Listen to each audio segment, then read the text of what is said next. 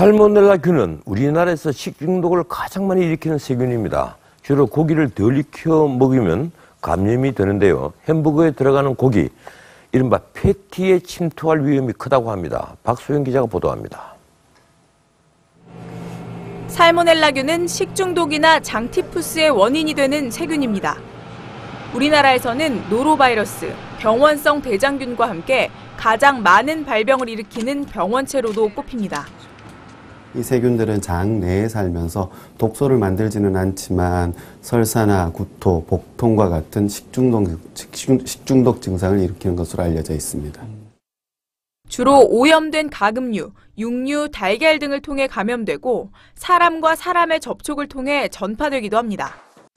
전문가들은 햄버거 패티의 경우 고기가 으깨지는 과정에서 표면적이 넓어져 살모넬라균이 침투할 가능성이 더 높다고 설명합니다.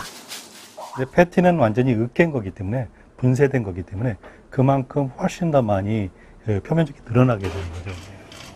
몸속으로 들어간 살모넬라균은 위산과 만나면 대부분 죽지만 살아남은 균이 장까지 도달할 경우 장 상피 세포벽을 파괴하고 염증성 설사를 일으킬 수 있습니다.